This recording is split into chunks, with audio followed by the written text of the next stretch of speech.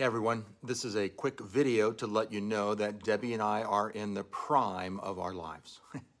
We've never been more in love with each other and with God. He has been so good to us.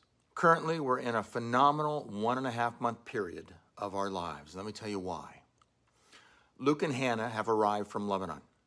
They were greeted at the airport by myself, Debby, Abby and Matt and Gabe, and finally Hunter and Ashley. What you, who are we gonna go see? Tobias, who are we gonna go see?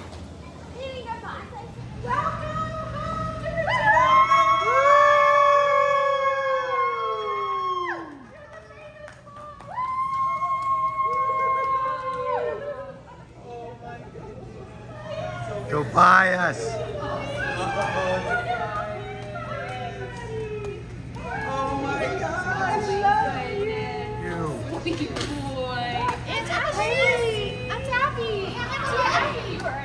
has only been in the past few days that Luke and Hannah have met their nephews, Gabe and Elliot.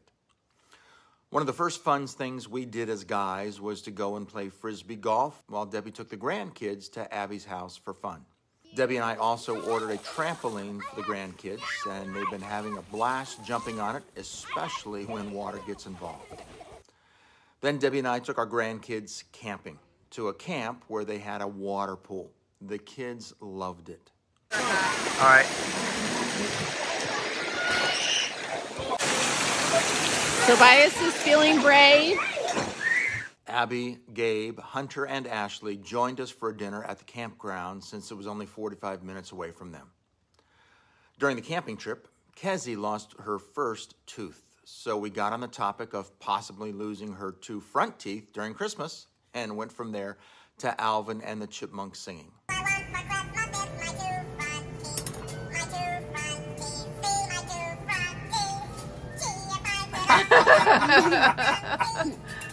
Knowing Luke would be here for a few weeks, Hunter signed us up for a basketball team. We now play each Sunday evening, and it's a blast to be on a team with both Luke and Hunter at the same time. This league is made up of two women and three men. Debby and the fam came out to cheer us on. Even bigger news is that Elise and Chris have now moved into our basement where my mom lived for 16 years. Along with Elliot, they'll be temporarily there looking for a house in the Richmond area. It is such a joy to sit down and have a meal with them. Other joys have been having the grandkids get fresh pics from our garden and to see Tobias dancing with the purple llama.